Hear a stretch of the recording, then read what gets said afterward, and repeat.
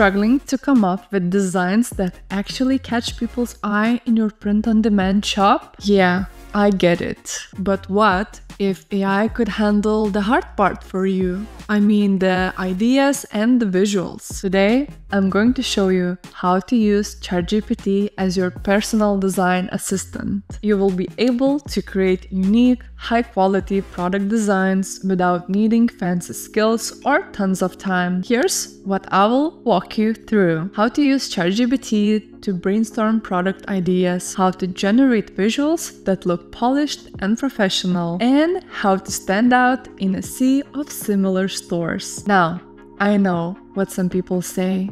AI designs are generic or kind of uninspired, but that usually comes down to how you are using it. With the right approach, results can genuinely surprise you. Let's take an example. Say your niche is fitness.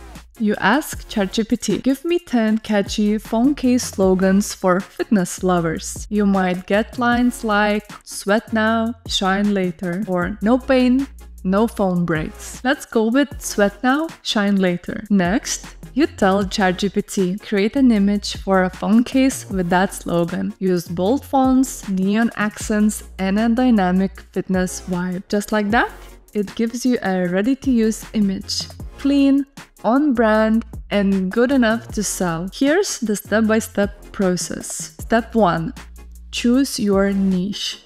Think gamers, pet lovers, travelers, whatever your focus is. Step 2 Use ChatGPT to brainstorm quotes, slogans, or visual ideas for that niche. Step 3 Generate the image using ChatGPT's new visual feature. Step 4 Refine it in your favorite design tool if needed, just to add your own touch. Step 5 upload it to Podbase and promote it on your socials. This approach saves time, lowers costs, and helps you build something original without needing to be a professional designer. And the best part? You are not stuck staring at the blank screen anymore. You have a tool that helps move the process forward and keeps the creativity flowing. Start exploring ChatGPT's image generation feature and bring your ideas to life. Ready to get started?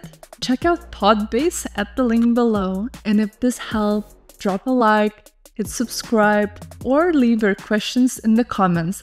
I've got you. Let's build something cool together.